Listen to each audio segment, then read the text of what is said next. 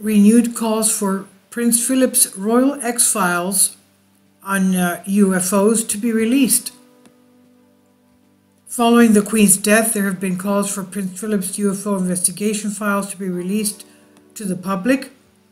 Until 2009, the UK's Ministry of Defence, MOD, actively investigated the UFO phenomenon, but it was not just government officials who were interested in the topic. The late Prince Philip, who died in 2021 at the age of 99, held quite a fascination for the subject as well. The Duke allegedly first became interested in UFOs after his uncle, Lord Mountbatten, wrote an official report about a strange object that landed at his estate in Romsey, Hampshire back in 1955. In it, he describes witnessing a saucer shaped craft which hovered just above the ground before a strange man wearing overalls and a helmet descended to the ground. He was then knocked off his bike and pinned to the floor by an invisible force.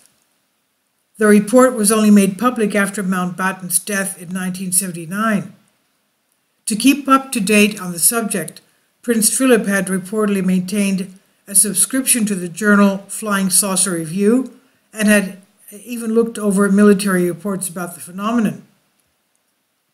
The books he owned about UFOs included The Halt Perspective, which deals uh, with details the, the uh, experiences of Colonel Charles Halt, who was one of the main um, witnesses during the infamous 1980 Rendlesham Forest incident, an event often described as Britain's Roswell.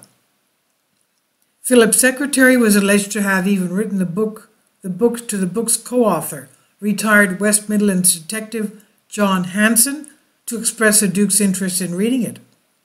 He was also thought to have owned a copy of Haunted Skies, the Encyclopedia of British UFOs.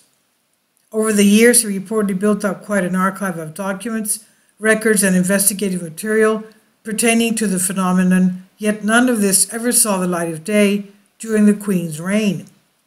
Now, though, there have been renewed calls for Prince Philip's Royal X Files to be released to the public so that interested parties can review everything that he had discovered. Whether the new king, that is Charles III, will ever actually consent to such a move, however, remains unclear. And this is from MSN.